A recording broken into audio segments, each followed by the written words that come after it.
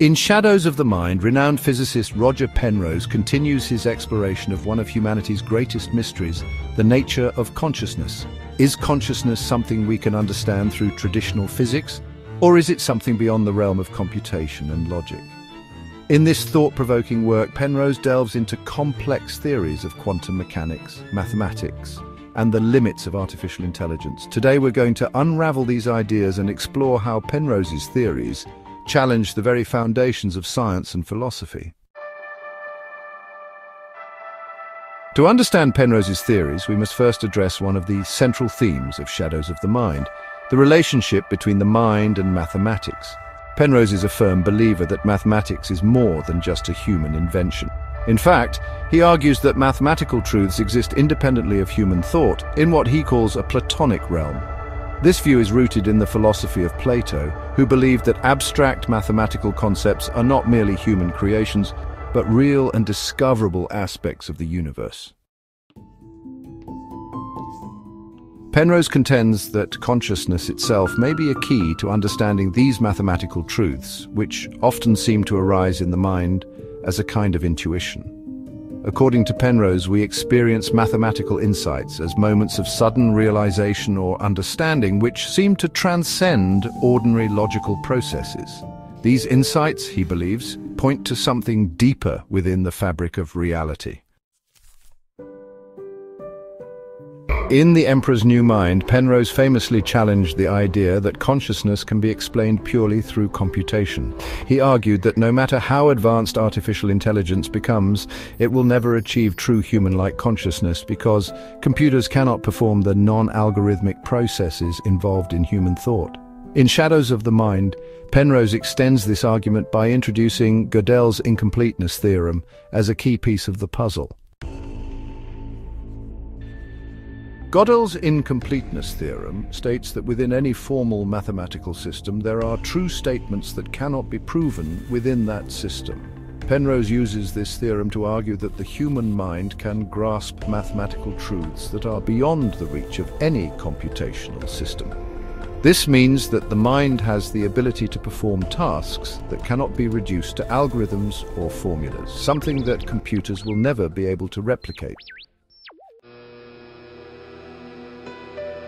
So far, we've looked at the limitations of computation, but Penrose takes his argument one step further.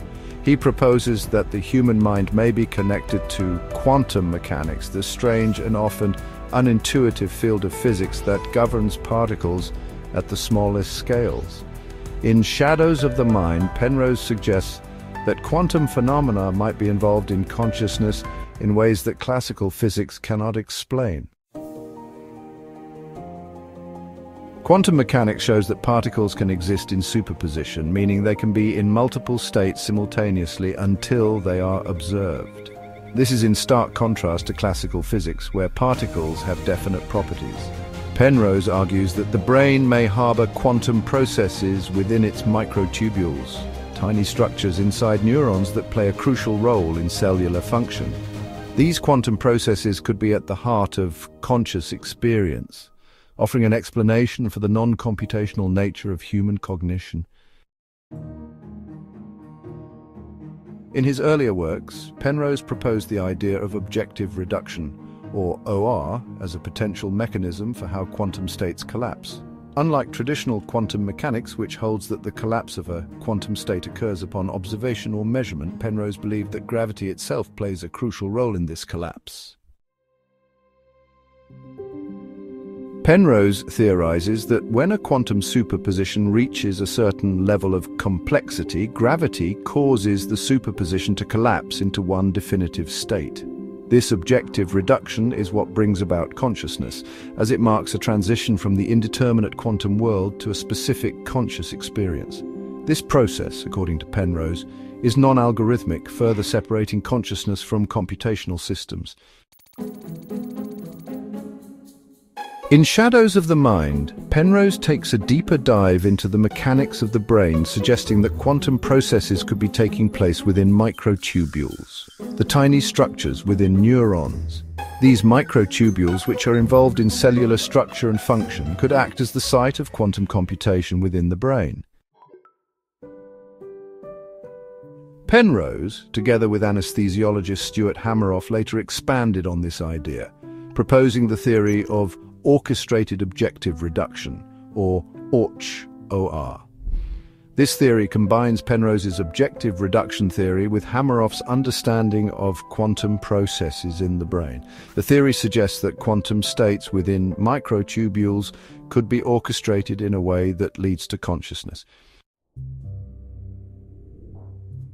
Despite the depth of Penrose's insights, the central challenge remains. How do we fully understand consciousness? It's a question that has eluded philosophers, neuroscientists and physicists alike. Penrose believes that consciousness is not something we can explain purely through materialism or computational models.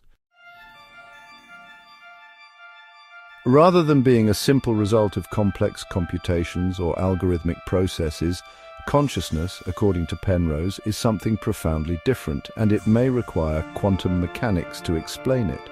The mind is non-computational in nature, and while machines may simulate intelligent behavior, they can never truly possess the self-awareness and subjectivity that humans experience. Penrose's theories also challenge the future of artificial intelligence.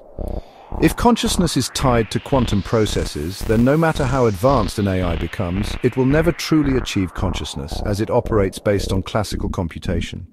AI systems might simulate human behavior, but they, they will never have the subjective experiences that we associate with being alive and conscious. According to Penrose, this creates a clear distinction between simulating intelligence and experiencing consciousness. AI may be able to simulate rational thought, but it cannot experience the inner workings of the mind. Penrose's quest for understanding consciousness is not just about solving a philosophical riddle. He believes that uncovering the true nature of consciousness could revolutionize our understanding of physics, biology, and even the fabric of the universe itself. His theories open the door to a unified theory of consciousness that might merge the realms of quantum mechanics and neuroscience. While Penrose's ideas are groundbreaking, they remain controversial and much more research is needed to fully understand how quantum mechanics and gravity interact with the brain to produce conscious thought. In Shadows of the Mind, Roger Penrose invites us to explore the deepest mysteries of the mind, proposing that consciousness is far more than just neural firing or computational processes. Instead, it might be the result of quantum processes tied to the very structure of the universe itself. Whether or not we fully understand these ideas, Penrose's work remains a vital part of the ongoing search for the nature of consciousness and the boundaries of human knowledge.